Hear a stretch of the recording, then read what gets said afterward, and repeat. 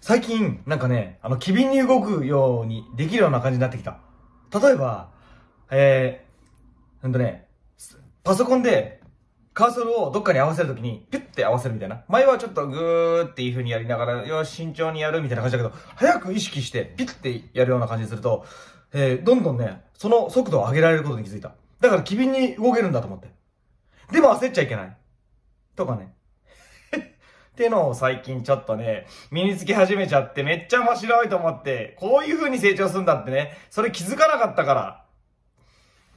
で、今日は、えー、ちょっとね、ま、また、あの、いつも本当に申し訳ございませんけど、自分の体調のことについてばっか俺話してません？なんか、体調が良くなるとすんげえテンション上がるんですよ。聞いてください逆に体調が悪くなると、めっちゃテンション下がるんですよ。聞いてくださいってなるんですよ。うん。でね、あのー、体調めっちゃいいんですよ、今日。で、何かって言ったら多分いろんな要素はある。睡眠もたくさん取ったからっていうのは絶対にある。水分もたくさん取ってるのがある。でも、もう一個、大きめのやつだったわっていうね。なんかいろんな複合的な感じのやつがあって、ね、丸があって、大きなところらへん、ちっちゃい要素とか、まあいろんな要素があって、大きな要素、ちっちゃい要素、中ぐらいの要素みたいなのあるじゃないですか。ね。大きい要素、これが油油脂質をやっぱりしっかりとってと。ケトジェニックって言うから、なんか変な感じになっちゃうのかな。いや、でもケトジェニックの感じかな。油をめっちゃ多くすると、変わってる。昨日、ケトジニック食みたいな感じにやってたんですよ。うん。ここ難しいんすよね。なぜかって言ったら、ただ脂質を多く取ればいいってだけじゃないんですよ。ケトン体を分泌することで、えー、脳みそのパフォーマンスが上がったりだとか、まあ、細胞膜が整ったりだとか、まあ、いろんなことするわけですけど、ケトン体が出るところがポイントだとしたら、えー、というふうに考えてくるとね、うん、や、やり方が変わってくるというか、自分の体質というか、今までのやってきたスパンとかで、え糖質量を、が少なかったとしてもね、あ、違う、糖質量が多少多かったとしても、えケトン体が出たりするっていう、その、うん、今の状態に合わせていかなければいけないんですよ。油の量とか。だからそれとかもやっぱ、えー、もう、固定化されたものがないんだなと。諸行無常と一緒。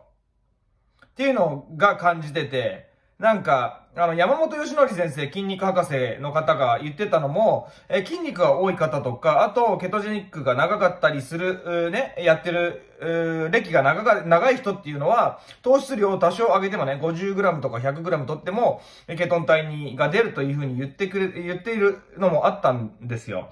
でもそれが、やっぱり、あの、うん、それは参考にはなるけど、まだそこの50から100は、えー、アスリートとか筋肉が多い人はって言ってたけど、俺は筋肉が多い人だと認識、自分でしているつもりだけど、そこだけじゃない。やっぱ、いろんなものが絡まり合って、えケトン体が出るポイントだったりとかっていうのもあるから、ちょっとすっごい難しい細かい話になってる。まあ、とにかく、良い脂質、めっちゃいいねって。今、ここに MCT オイルが 10g 入ってます。昨日は、あと、ナッツをたくさん食べました。えー、ピスタチオ、カシューナッツ、うアーモンド、おあとカカオチョコとか、えー、あとアマニ油とかもね、えー、振りかけてたな。うん。量脂質ですよ。悪い脂質じゃないです。量脂質を体に入れ込むと。それがめっちゃ重要ってことにまた気づき直しちゃってます。これ多分何度もやる。この人生の中で。このサブチャンネルっていうかその YouTube とか、えー、やっていく。まあ YouTube じゃなかったとしても、この動画でね、話していく中で、多分ずっとやってると思いますけど、常にそれだけ変わってってるんだなって。うーん。俺の体の状況だったりとかね。うん。やらせてください。だから。これ楽しいんだ。食事を考えることって楽しい。食事によって自分の体、体調が、えー、良くなったり悪くなったりするっていうのを感じるんですよね。うん。でも、でもじゃないけど、食べたものが体を作ってるのは確かだっていうのはなんとなく感じるんですよ。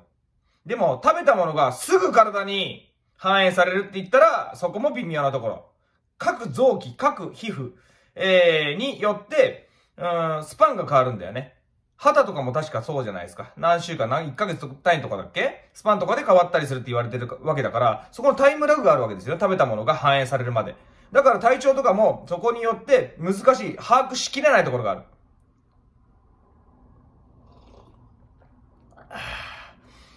だからもう、これは多分ずっと探求し続けるんでしょうと。その過程が楽しい。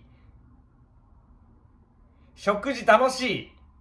食事を最適化するプロセスが楽しい。油重要ですよ。良質、いい脂質を。どうぞ。えー、さようなら。